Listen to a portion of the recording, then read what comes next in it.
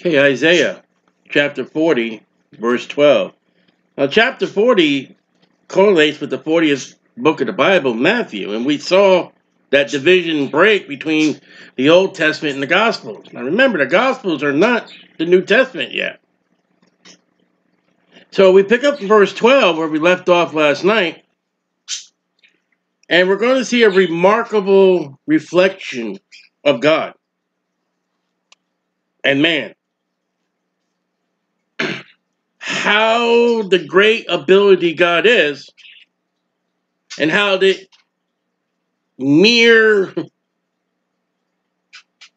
what do I say, mere nothing that man is. Because you realize without God, there is no man.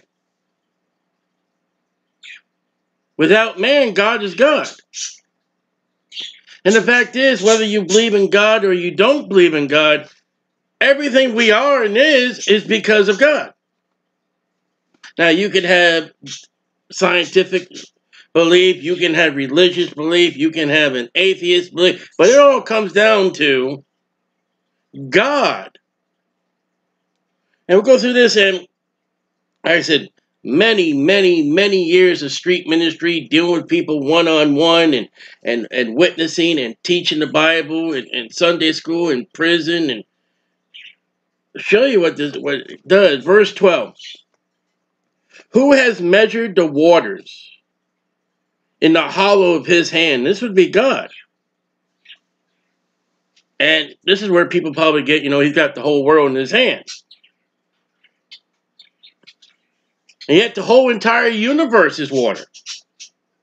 And let me tell you, when they send astronauts, nautical, in a spaceship, that if you were to go bouncing up and down on the moon, you need an oxygen supply. So, with all the waters on the planet Earth, the seas, the oceans, rivers, ponds, and the waters are in outer space. You know, we're searching Mars for water now. Of course, you're going to find water. The whole solar system is water. Look at Genesis chapter 1. And, not, and this could be a great detailed study, and we're not going to make it a great deep. But let's look at Genesis 1. let's see what the Bible has to say about it. Verse 2 And the earth was without form, and void and darkness was upon the face of the deep. And the Holy Spirit God moved upon the face of the waters. That's the universe. So, okay. How much water is there? And yet, how many stars are there when the Bible tells us that God knows how many stars and calls them by name? and knows every name on the human from Adam. And then when man goes into hell, he loses his name.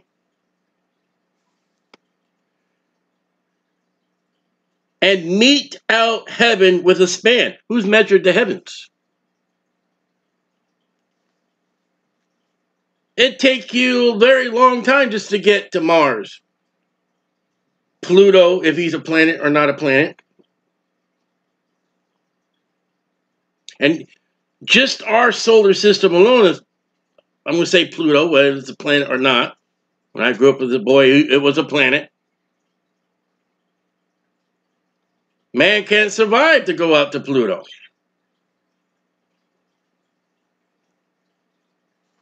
And comprehend the dust of the earth.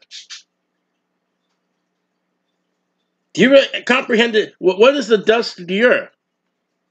Do you realize that the dust grows every day? Oh, we got the dust measured.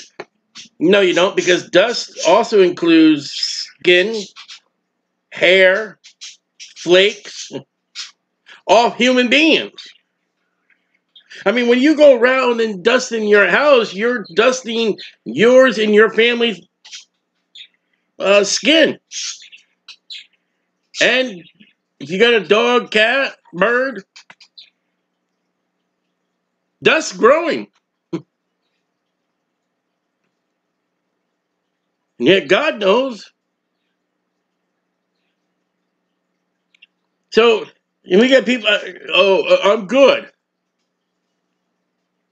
Are you good enough to know what everything is? And you know, gravity and H2O and the periodic table. What if we get to heaven, God says, you had it all wrong? I'm not saying, what, what if we... And weighed the mountains in scales. Oh, come on. I bet you God has. And the hills in the balance. You know what scales and balance are? How, how much does that Mount Everest weigh?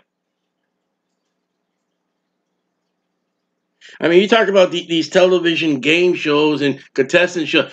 Uh, let's put God as a contestant, and everybody will lose.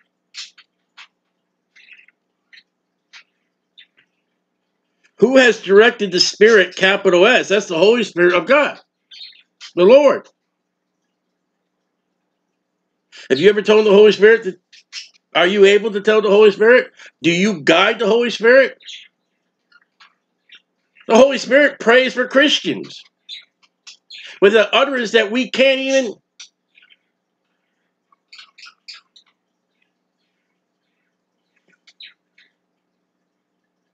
And being his counselor has taught him. Are you God's counselor? Have you taught? And we're going to look at a lot of taughts. Have you and God sat down and you told God something? Have you taught God something God never knew? I know, you know, we all get that thing. No, no, uh, not me. We all get, you know, our sometimes our prayer life that we have a better idea than God. And reality, we don't. With whom took he counsel? Okay? That's God. When God created heaven, uh, who did He say? All right, we're we're gonna have a board meeting. Everyone sit down and, and there's your coffee and all that. Uh, first agenda for today, folks. I'm going to make something called a fish. Look at look on the board. Look at your PowerPoint. That's what I'm going to design. Uh, do you think I should have fish in the water, or do you think I have fish in the sky? What do you think I should do? A bird in the sky? Oh, okay. Put the fish in the water and make a bird. Oh, okay.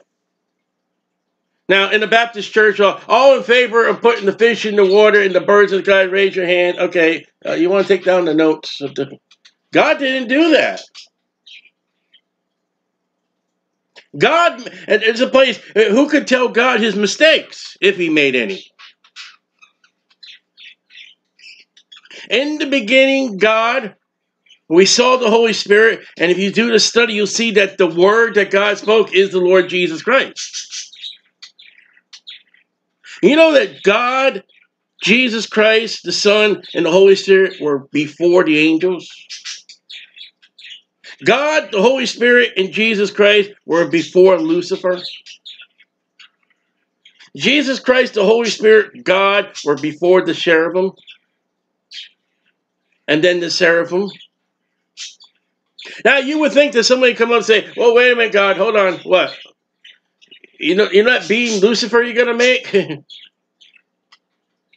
God, yep, I know it's gonna happen. Well, God, if you put that man and that woman in the garden, and you put that, I know what's gonna happen. I'm at the point in my Christian life right now and the Bible says, "Is there anything too hard for the Lord?" Uh, we have an Almighty, and we do have we have an all-powerful, mighty God. I, am in the point in my Christian life with, with things that have happened. Things, God knew about Lucifer. God knew about Satan. God knew about the serpent. God knew about the tree. I know about free will, yet He allowed it all to happen. And people say, you know, if God would have made the woman first, she would have told him how. No, shut up with your stupid jokes. No one would have told God anything. You know, we try. We're perverting God to try to get a laugh. I'm coming on 34 years of salvation, and the, these jokes and all all they do is pervert the word of God. God got nobody's opinion, nobody's spreadsheet on what to do, what he does. Again, how wonderful and mighty God is, and how is man. The Bible says if God were to take his spirit out of our nostrils, we die. Well, we know CPR. We, we, we get the pat. If God says you're dead, you're dead. It's that plain and simple. Verse 14 Who instructed him? Oh, I know plenty of people who like to instruct God. But who instructed him? There are scholars and, and educated, and they're the, the fool. They will tell God what to do. No. and taught, there's that word again, him the path of judgment. It's amazing. Again, like I said, public ministry, let me look at what I know. Somebody will come up to me, judge not least you be judged. Finish the verse. You know what I believe the Great White Throne Judgment? I believe God's going to allow people to walk up to him, judge not least you be judged. And he's, I think God's going to let you say whatever you have to say. That's what they do in courtrooms.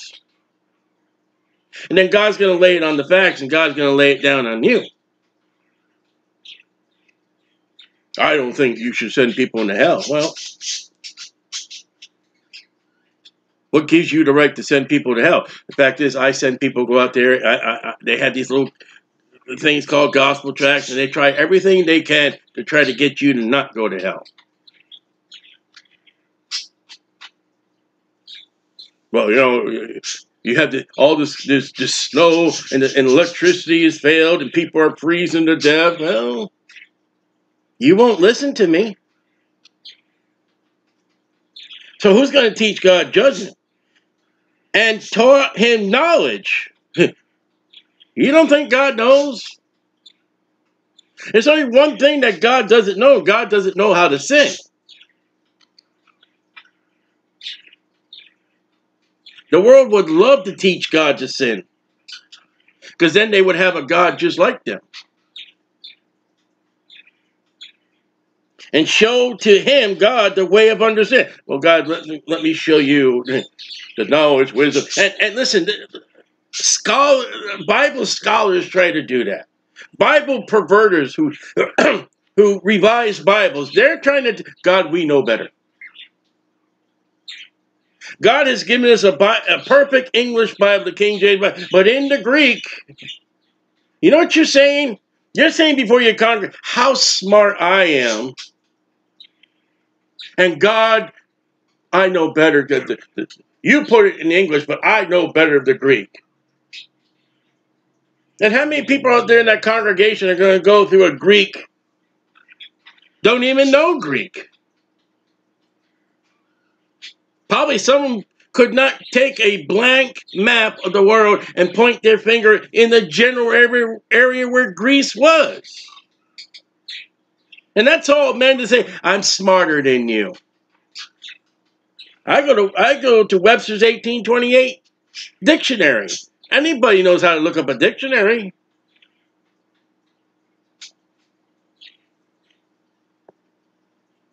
Behold the nation. Now watch this. The nations, plural, are a drop in a bucket. What's that? Get yourself a bucket. Any bucket. Now take yourself a, a medicine dropper, which I have right here, a little medicine dropper. Make a little drop. All right, that's it. I don't know if you saw that. Put that little drop in a bucket. Now, I don't know how many, uh, 10 gallons, those 10 gallons. I don't know how many drops would make a 10 gallon bucket. I got a 20 gallon fish tank over there. I don't know how many drops would make 20 gallons. But the Bible says the nations are as a drop in a bucket. America, we're number one. America, we're great. Yeah, God says you're just a drop. You realize if you take all the nations in the world I don't know, 300, 400, 500, maybe a 1,000? What would you take a drop? Every nation in the world. A drop in a bucket.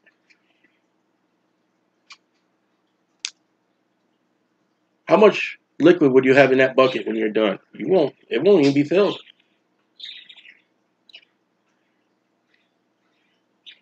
And America, she boasts on how great she is.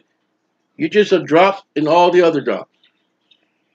You've got people in you just like people in Africa, people in Europe, people in Asia. You got people that need food, water, and drink, just like everybody else. And there are some places in the world they don't need the cell phone.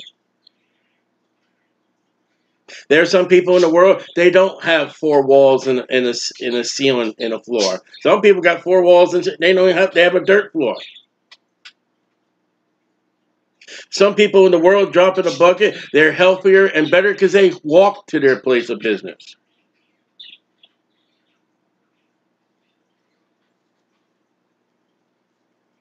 And then there nations have been totally wiped out. Babylon, Assyria, they're gone. God, they're gone. All right? What's God? Is he ever gone? He's never going. And yet those nations drop in a bucket without God, they wouldn't even be nations. And are counted as small dust of a balance. Get some you couldn't even weigh the dust. Verse 12. And, and, a dust in a balance. Let's say God, all right, you know what? That cup is full. By Sodom. By Gomorrah. God sent matchsticks to destroy Sodom and Gomorrah. You mean match? Sulfur. Sulfur is what's on your matchstick. With hail.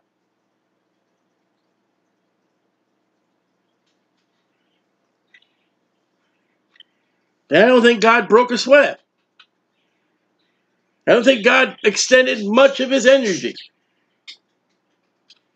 to have the Medes and Persians come under the walls of Babylon and destroy Babylon overnight. I don't think America presses, impresses God. Maybe at one time she did, sending missionaries out and, and, and great revival preaching and all that. I don't think that today.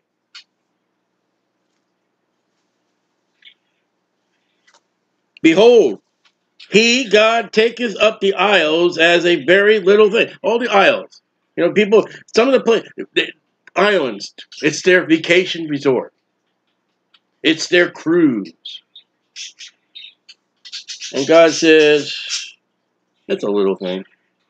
Oh, one of these years we're going to go to the Bahamas and we're going to we're going to visit one of the islands, Hawaii. We're going to go to the island of Japan, and and we're going to save money. We're going and God says, it's just a what? A little thing. Australia, it's a big island. God says, this is a little thing. What is take Australia? It's it's an island. Okay, what is Australia as far as landmass compared to Mercury, Venus, Earth, Mars, Jupiter, Saturn, Uranus, Neptune, and Pluto, and the Sun, and the stars? What is that landmass compared? And there are other planets out there.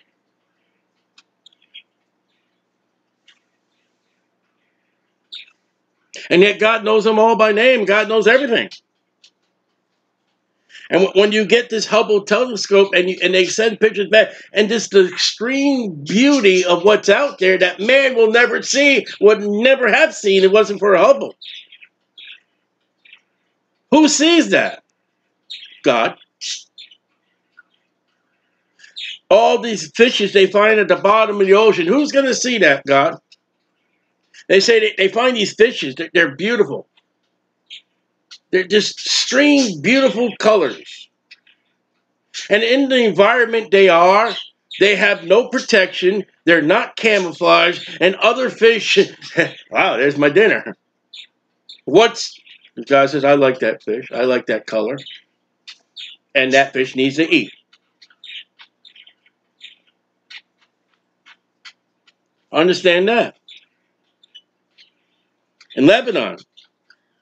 Uh, Lebanon back then, great big, is not sufficient to burn. I mean, don't you think yeah, we're Lebanon, yeah, no, Lebanon, look. People, people, oh, we're America, yeah. And I can show you videos of people in China having a box smuggled in into China, opened up in underground church, and they, they find its Bibles and they're loving, kissing, and hugging those Bibles like it was their wife or husband. And I can show you Bibles in America where it's skimmed across the road. It's not even brought. It's amazing how many people I see in church and they pick up the Pew Bible. Well, not be a Pew Bible. Ought to be your Bible. I'm one of them people, and I, I, I don't know where I got this. You don't have to believe this. Not you're going to go to hell, but I believe God's going to take us in heaven with our own Bibles eventually. Heaven and earth will pass away, but imagine if, uh, like I said, this is oddball, but you know, I got a couple. Of, let's end up in heaven with with with this King James Bible, my Bible, with all my notes and tears and blood and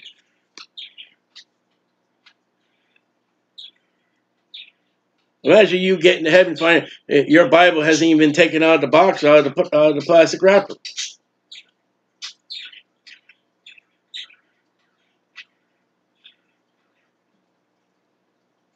We'll be judged for everything. Will the Bible be open to minor prophets to say, hey, Stolly read the minor prophets?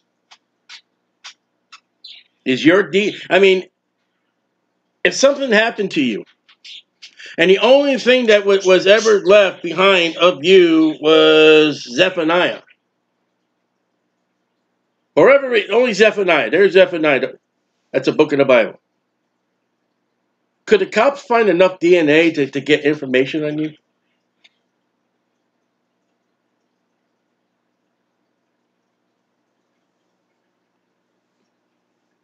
Nor the beasts thereof sufficient for burnt offering. It, all the animals in Lebanon, God says, night.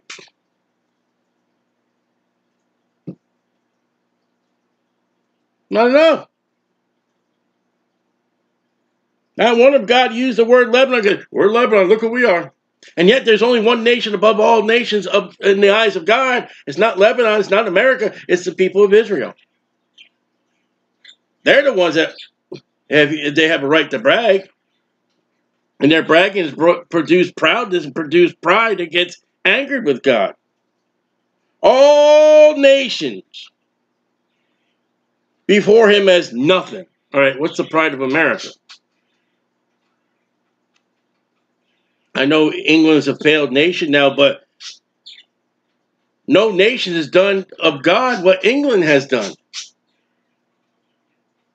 There was a time that said that the sun never set upon the English Empire. Why? Because she sent out missionaries all over the world in the darkest continents. You say Africa. I'm talking about all the darkness in the world. England sent out the Geneva Bible. England sent out the King James Bible for people to know. America hasn't done that. Oh, you know, we sent missionaries. You sent missionaries on roads that had already been plowed.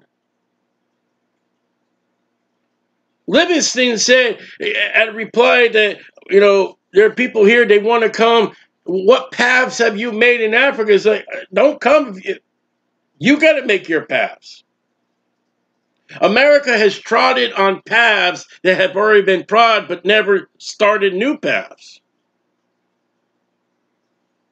And now she's backing away from missionaries. She's turned away.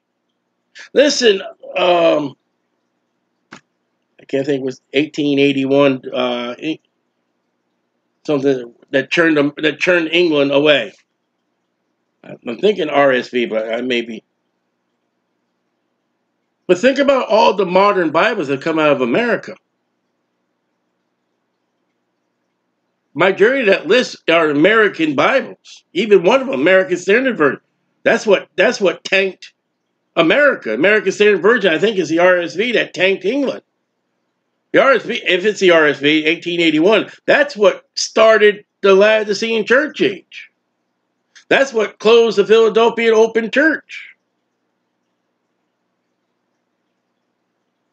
And these nations, oh, look who we are. You know, the Olympics and America's how praying. You know what the angels rejoice in, the Bible says? The angels rejoice in a man that got saved. A new name written down in glory. You know what America does? She sends out missionaries to say this prayer, to say this prayer. And maybe when they say this prayer, maybe the angels are not rejoicing because maybe it's not a true salvation. Now, I don't know. Do you know what America and her religions are? Seven day Adventists, the Mormons, the Jehovah Witnesses, Mary Baker Eddy. Look at the foundation of the religions of America, and you think God would be pleased? America is following the ways of Babylon. Babylon's going. America's following the ways of Egypt. Egypt's the type of world. Get out of her. Egypt following the ways of Sodom and Gomorrah. God destroyed them. All the nations before him are nothing. They are counted to him less than nothing vanity. You say, well, what about Israel? What would Israel be without God? Where is Israel now in Isaiah and Jeremiah, man? They're not worshiping God. They got the queen of heaven. They got all the God. And in the eyes of God, that's vanity. The only way that nation of Israel will be a purest, great nation above all the nations as they are now is when God gives them a new heart, takes out the stony heart, and God will, will take away their, their iniquity and their sins and cleanse them and make them holy, pure for eternity. Then there'll be the nation of nations. You know, the Bible says there'll be nations in the millennium, sheep nations. That's the name given, sheep nation. But you can find Israel going in the millennium. You know, the Bible says that Israel's going into eternal life, the church is going into eternal life, and there'll be nations in the eternal life. What's the name of those nations? We're not, we're not even told. And it won't be America. You won't find the stars and stripes hanging over the, the walls of, of New Jerusalem. You're not going to find a president. You're not going to find Republicans, Democrats. You're not going to find the queens.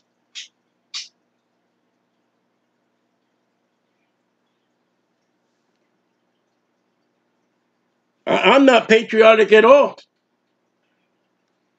I don't support a. I was talking today to a soldier. I don't support a nation that that has her vet, her vets, her military vets, living on the streets, and you got people never worked a day in their life getting pregnant so they can get more government money. I say boot those people out, out of housing and put the put the vets in the housing. Yeah, that, that's not going to go up too popular, but verse 18. And, this is a weird, 18 to 21 is a weird thing in here. To whom then will you liken God? And what likeness will you compare unto him? Okay? I don't know. We're going to finish the chapter. I'll tell you what likeness they have. An Italian. The pictures you find in your Bible, the religious Bible that you see a picture of Jesus, that's in Italian. Uh, a preacher today mentioned Hollywood movies of the Bible. Really? Charlton Heston as Moses? Really? You don't know your Bible. Moses was not Charlton Heston. Moses was not an American. They made movies about Jesus. He wasn't American. Who are you going to liken to God? What do you do with a nation as India? They've got tons and quadruples amounts of gods. You see, have you looked up images, and we're, we're going to look in a moment, images and idols, just look at pictures on on, on, on uh, Google and all that to see all the weird, you know, they got antlers, they got eagle's head, they got moose's head, they got, to them, that's a God. My God's a spirit. You can't see my God. Verse 19, the workman melteth a graven image, and the goldsmith spreadeth it over with gold, and casteth silver chain. Some people think God is gold. He's a spirit. You know why gold and silver? Because they value that. You can buy things with it. He that's so empress, and you look up here, empress is to be made poor. Poor. To make poor, to reduce the poverty. You're making a God, but you're poor. Wow. That he has no oblation chosen. He has no offering to God, but he's going to make a God. He's going to go out and says, get a tree. God made the tree. He can't buy the tree. But he's going to go out and get a piece of a tree and he's going to turn it to a God. That's the creation being the cre- being the creator. That's Romans chapter 1. So he says, no oblation, choosing the tree that will not rot. Uh, evergreen. Silver chains, would that be tinsel? But it's not a Christmas. Why are you defending one sin? That, that's what came. Christmas tree. Yeah, uh-huh. He seeketh unto him a cunning workman, that means expert, to prepare a graven image that shall not be moved. That's Jeremiah 10. We pass by when we go to church, and, and they, there, there's there's a statue, but they got all kinds of statues and, and pan and, and, and bird fountains and eagles and all kinds. Man's got to move it. I come out of Catholic Church, there's a statue. What kind of God is it that man has to move his God? Where the God of the statue doesn't move the man. What kind of God do you have to dust God? Catholics get special great credit. Listen, I grew up as a cat. You got Mary and the half shell out in your front lawn, and you got to go out there and clean her and all that. She can't take her own bath. That's a, that's your God, though.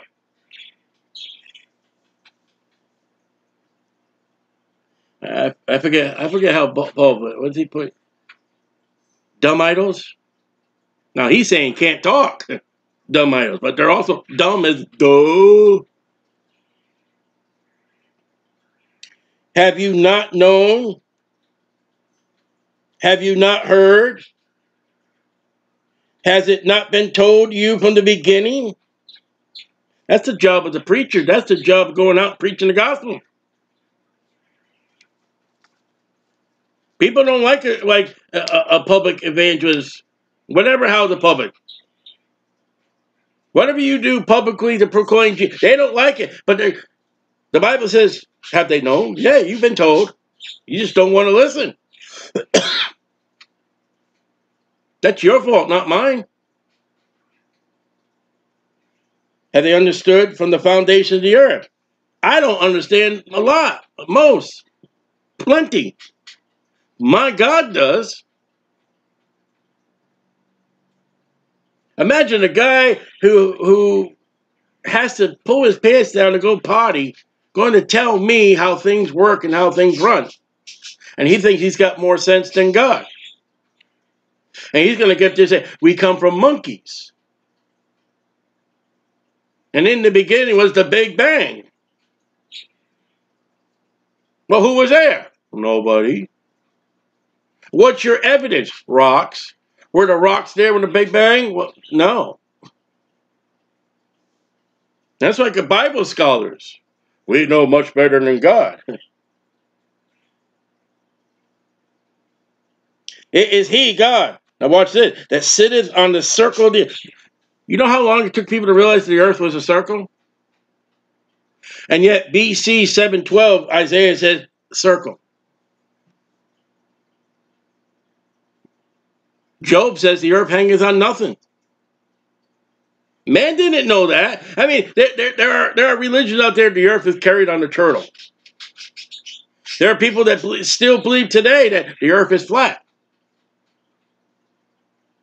You know what God matches verse 22?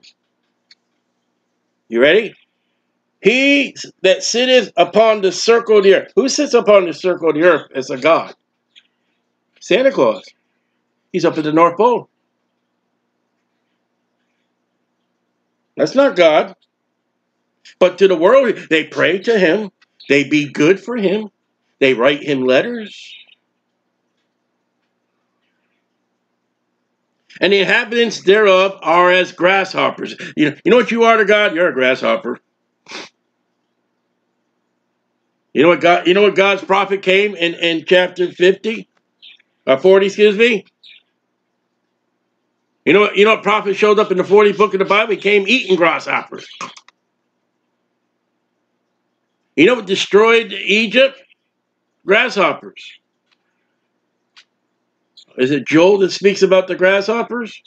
Then the palmer worms and then the canker worms? And stretches out the heavens as a curtain. The roar, the roar, roar borealis, the northern lights, is found in Isaiah.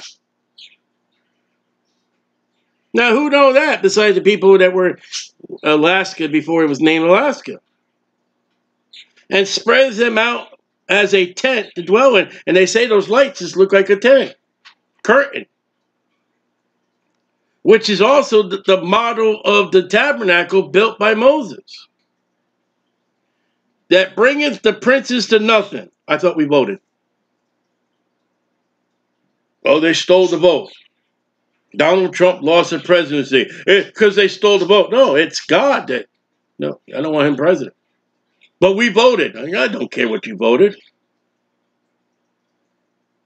God has showed, even though you go to the polls and you vote, God said, hey, I'll just mess with those numbers.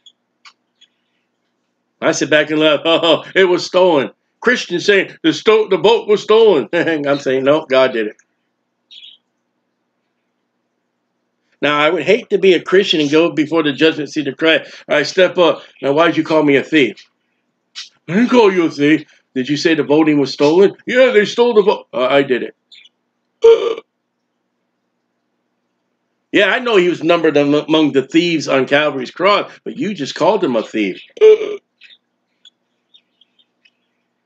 Get out of politics, preach the gospel. He maketh judges of the earth vanity. You know how many judges God's going to judge in the end? Judgment seat of Christ or the great white throne judgment? All of them. And that clues that people that come up to me, judge not least to be judged. Wait a minute, you're judging me. Duh! They get mad when you tell them that. Judge not least to be judged. Well, aren't you judging me? The judges of the earth. All right, right? Here's one. You're driving down the road. There's a light up ahead. It turns red. Well, I got to stop. You know what you're doing? You're judging. God's going to judge you for judging. And those people today, we had today a guy, that guy did not judge a red light properly. God's going to say, hey, you judged it wrong. I'm going to find it fault with you. Every time you run through a red light and you say, well, I don't mean stop, God's going to judge you because you judged wrong.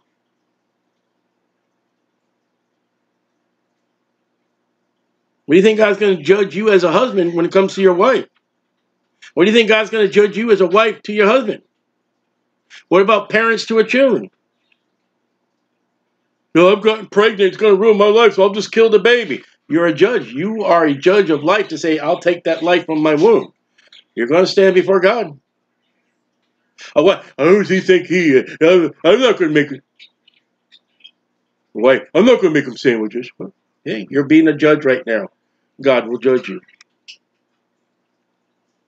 I don't know why I have to sit here and do this math. This math is stupid. All right, you're being a judge. God will judge you.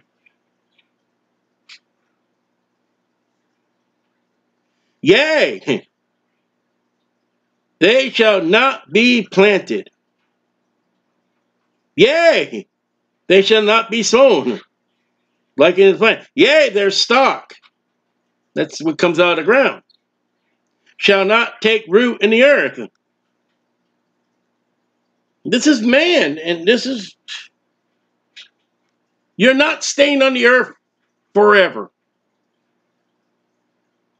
You're going to die, and normally we're going to bury you in the ground.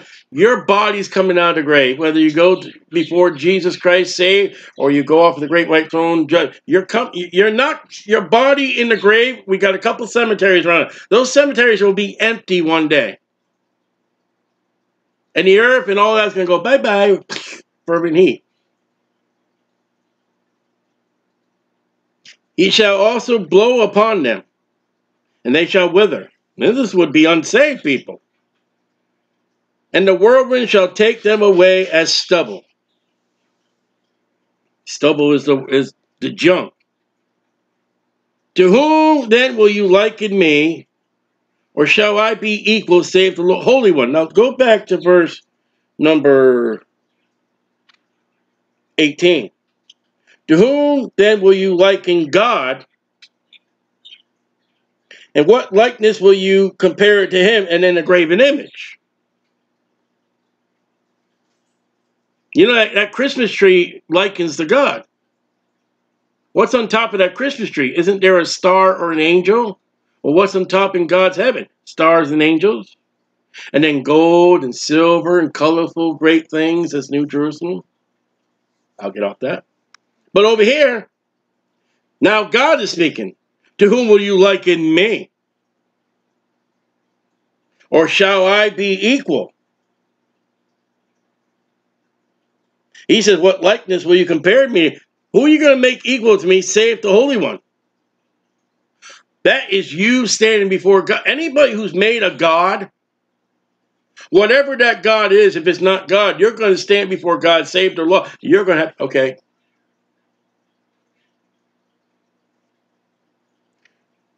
Was that preacher really that good, better than my son? What do you mean, Lord? Oh, we got the greatest preacher.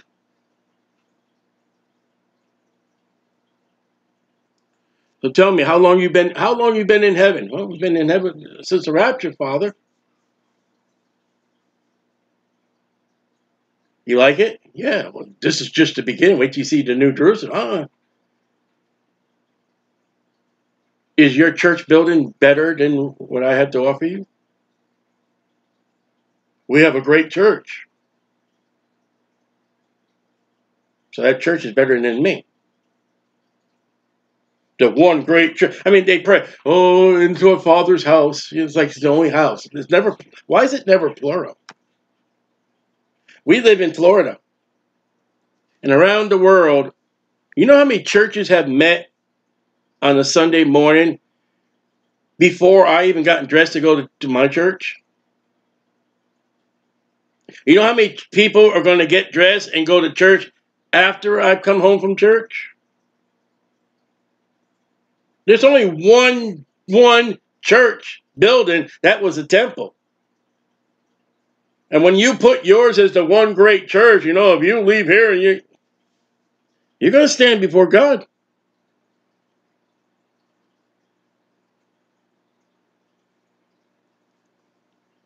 Saith the Holy One, lift up your eyes on high, and behold, who has created these things? Who is the creator?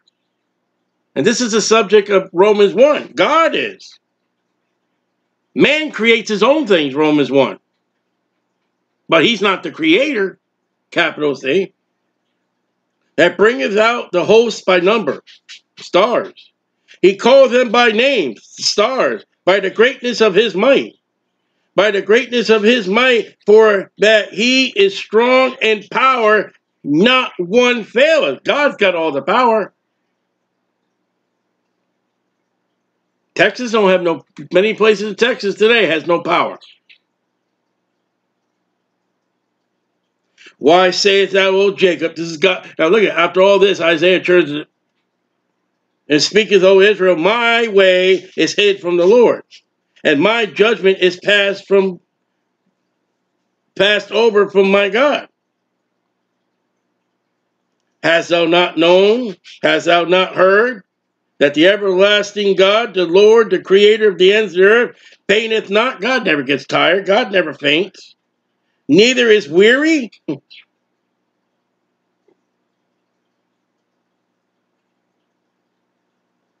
bet you had a ball with that one when Jesus fell asleep in the back of the ship. Job says, Have you got eyes like a man, God? God, do you really understand what it is to be like a man? And God's like, Nope, not yet. One day. Has God ever cried? Yeah, Jesus wept. But the Almighty present God, Jehovah, He doesn't sleep. There, listen, there are times when I go to bed and say, Good night, Lord. I know you don't sleep, but you know what I'm saying, Lord. Good night. Look at your statues. I don't know. I haven't been in Catholic church. Look at the. Are their eyes open or they're closed? I, I, I forget. My God never closes his eyes at all. My God's ears are always open, even if it's no.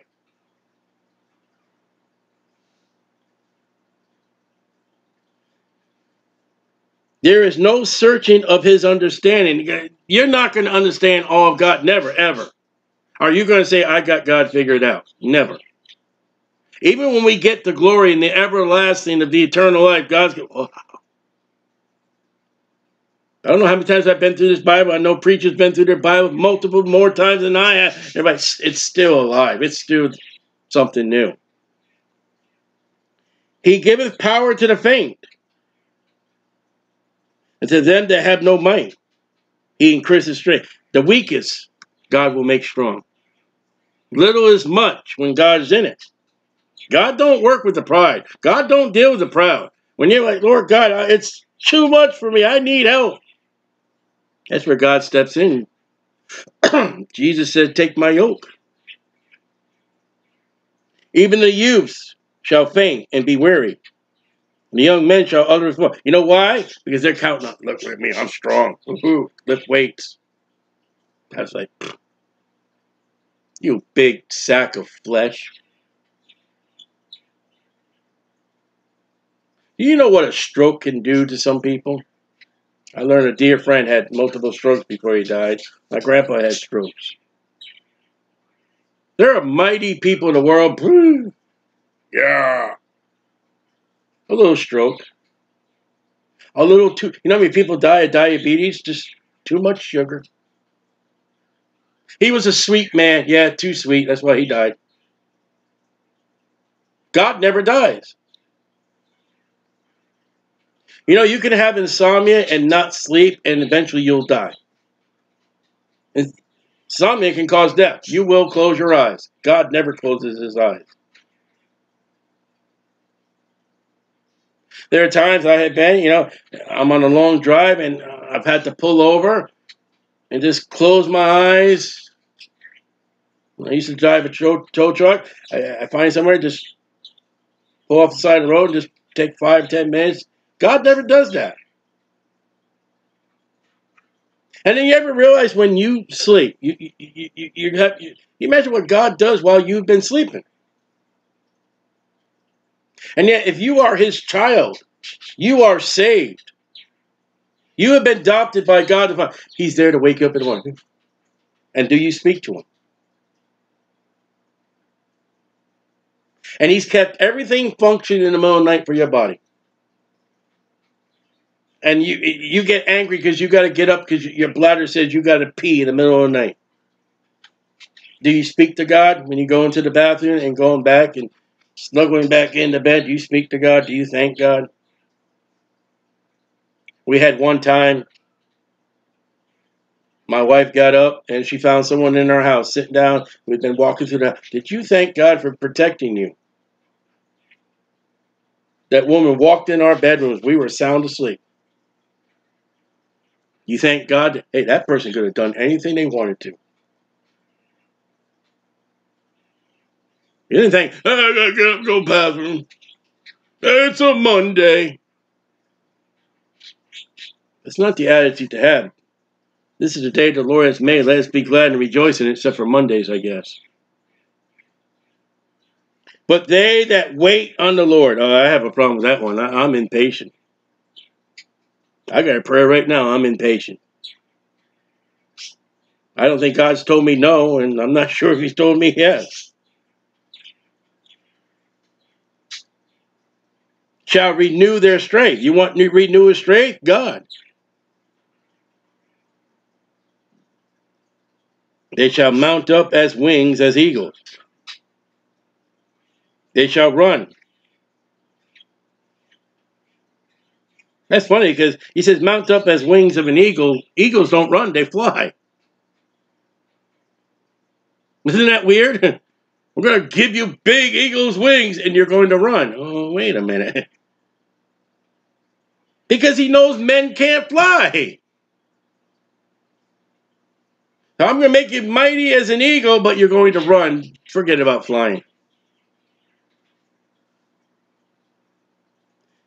and not be weary. And what he saying is you're going to keep pace with the Lord if you just wait on the Lord. Don't outrun the Lord and don't lag from the Lord. Don't go too far ahead and don't stay too far. Walk with the Lord. But walk with the Lord enough so you can follow him. Oh, you know, me and the Lord, we walk side by side. And he could make a turn on you and you wouldn't know it. Walk a little behind him. and they shall walk and not faint. That's a hard one because there, there, are times in my life right now I want to go home. I'm tired of this world. But when I wake up the next morning, no matter what I feel, it's like, Lord, okay, I'm alive. What can I do for you? What can I do today to please you? I don't plan on going anywhere. I, will tell you, I said, Lord, I, I don't, I'm not planning on going anywhere today. Do you want me to type some things on the internet that people don't like? You want me to read a particular passage in the Bible? Do you want me to make outline? And Lord, you know, hey Lord, you know, I got, I got to go somewhere today. This is where we're going to go. Lord, you remind me to get a gospel track out, leave a gospel track behind. Lord, I'm getting up for you. And Lord, I'm tired. I'm lonely. I'm gonna get frustrated. You, you know me, Lord. Give me the strength, and He gives you the strength. He keeps you going. And remember all that in the body of Jesus Christ, 100% man, 100% God. He felt the same way we do. And there are a bunch of people out there who think they're better than God. And they're Christians, too. And they're the world. When you look at money, it's got a face on it. Yep, but it can't talk to you. When was the last time you held money? You're going to buy something stupid. When the president, don't do it. No, no, no, that's not. That's not your money. Your money don't do it. And yeah, it's got faces, it's got eyes, it's got ears, it's got mouths. Ain't got no body. They're all cut off at the neck. You got beheaded men on your money. Think about that. And yet how how highly they're valued.